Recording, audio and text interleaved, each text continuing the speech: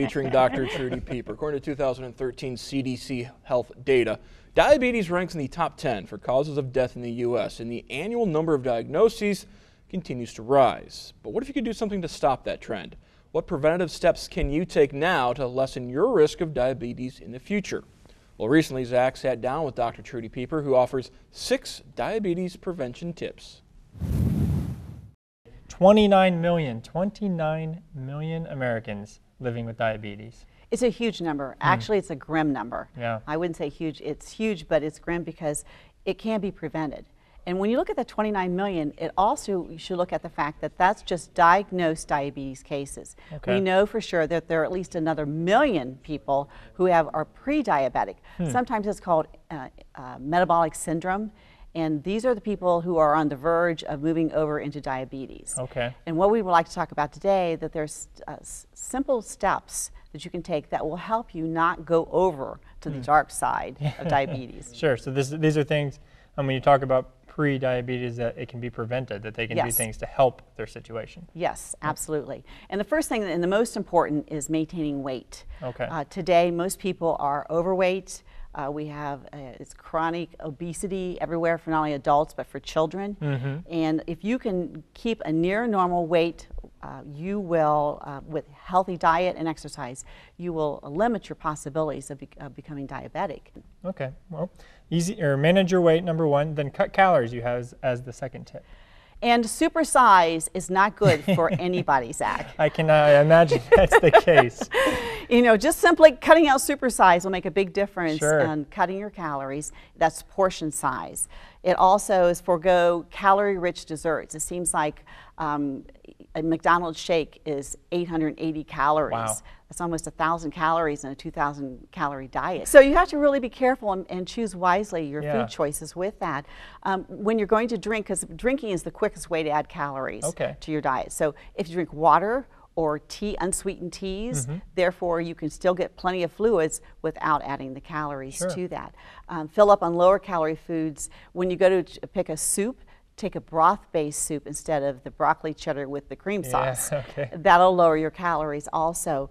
Watch fruits. People think, okay, fruits and vegetables, I'll eat lots of fruits. Fruits are glycemic. They mm. have lots of sugar in them. So go towards low glycemic fruits tart apples, all your berries, blueberries, blackberries, raspberries, mm. strawberries are all low glycemic fruits. And this is the season now when people yeah. go out and eat those. Watermelon and papaya are all good choices for fruits. And the finally is cut out the high carbs.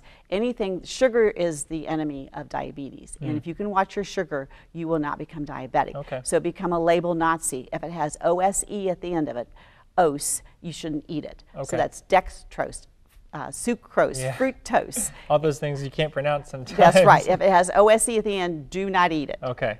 well, we're managing weight, cutting calories. Number three, stay active. Stay active. And we talked about this a little bit.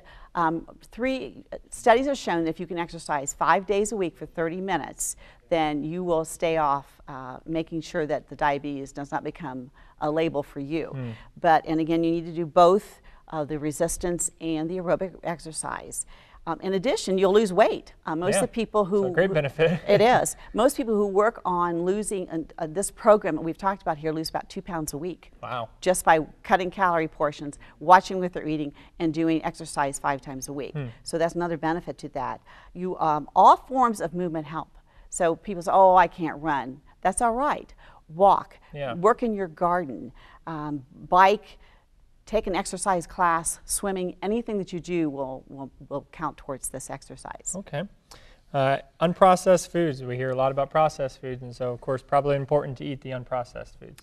And that's particularly because of, there are a couple of really important minerals that we get in unprocessed foods that will help us so that uh, limit our insulin in our blood sugar. And the main one is magnesium. Mm. Studies have shown that uh, you have a 23% risk, lower risk of reaching diabetes if you eat more magnesium. Yeah. But if you do leafy green vegetables, there's lots of magnesium in that. Uh, broccoli is another one. Knee, uh, any beans, nuts, and whole grains all have magnesium in them.